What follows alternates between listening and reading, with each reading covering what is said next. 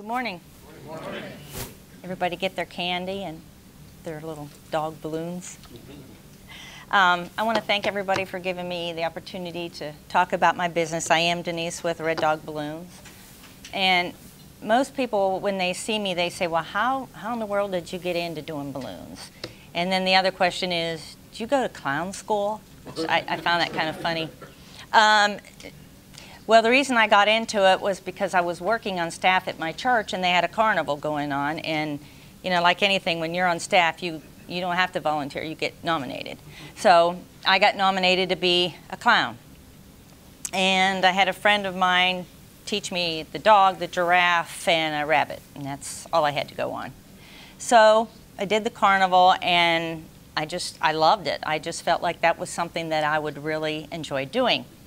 So I went home, I started searching on the internet and trying to find some tutorials.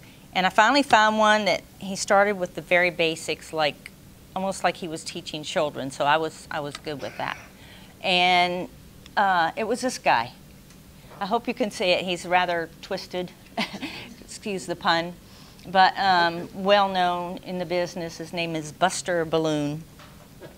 And um, so I, I, learned a lot from him, and I, I, just got hooked. I was just always looking and looking and looking for ways to improve myself. Um, so, first thing I did was I came up with a name, Tickles the Clown, and hope you can see, but that was me, all dressed up. Um, the other thing about doing that is I work in restaurants, and I started finding that the kids were not, I wasn't relating to the kids and parents like I wanted to because a lot of them are afraid of clowns now with movies and the ones that are running out in the middle of the street and scaring people. So I just made a decision just to go with just, you know, just regular outfits and uh, I saw a big difference. The other thing is um, I didn't go to clown school. Like I said, I, I do go on the internet but I had some private lessons, and then I go to a um, balloon convention every year in Orlando that's called uh, Florida Super Jam. And there's probably, I don't know, maybe, could be close to a thousand people there. And all we do all week, I mean, for four days, is literally just play with balloons. I mean, that's the most fun you can have at a convention. just you just sit around in little spots with people showing you how to make new things, or you can go to classes, and so that's how that's how I keep, you know, my business up, my uh, expertise, and just kind of keeping up with what's what's uh, the most famous, you know, cartoon character like, you know, trolls and all that other kind of stuff. You got to learn how to make that for the kids. So um, you'll see I have a notebook over there uh, on the wall and it's got some more pictures in there that you can see some things that I do. Um, there's business cards and of course some of y'all have some here. So um, what happened was I was twisting at two restaurants here in town and I still do. I'm a, I'm a balloon twister. But then I went full time with this business in July and I renamed it Red Dog Balloons because I wanted to go further than just balloon twisting. And that's what I did. So I just want to go briefly through these slides and just let you see some of the things that I do and just you know kind of explain them because you'll see that there's some things on here that I don't think I've seen anywhere else here in town. So, and if you have any questions at the end, you could you can ask me.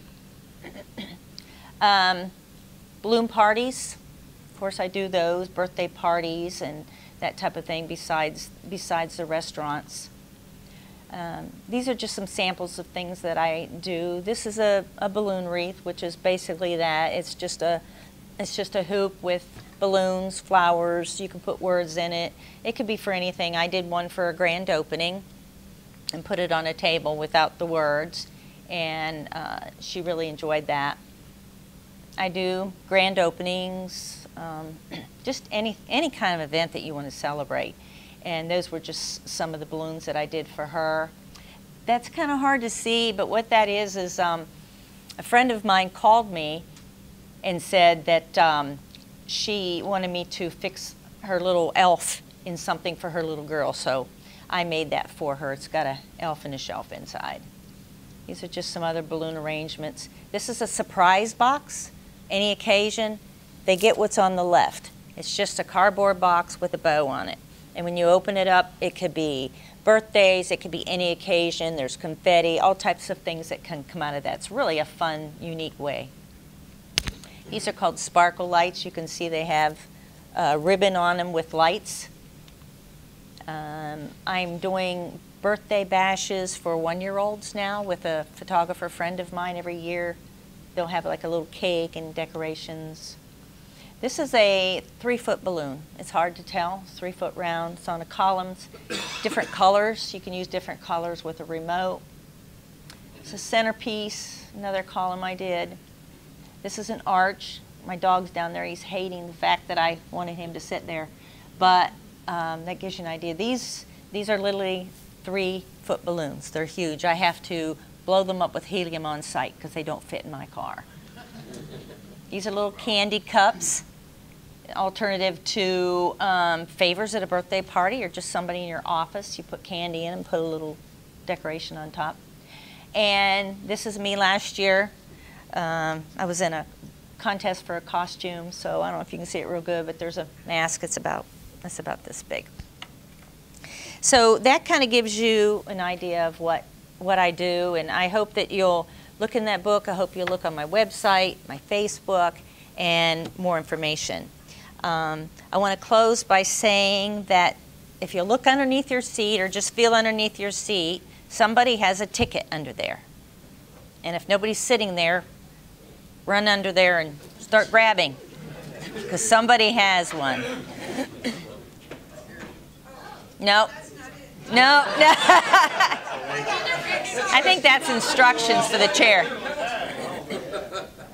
Anybody keep searching. It's here, it's here.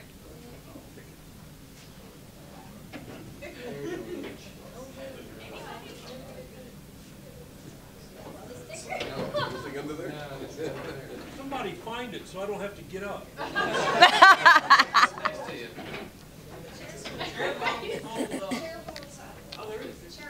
Ah, there it is. One here that's not filled. All right, hold it up. Congratulations.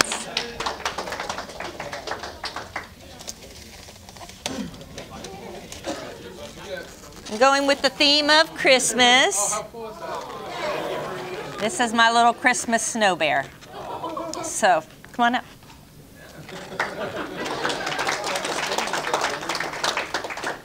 Thank you. Thank you.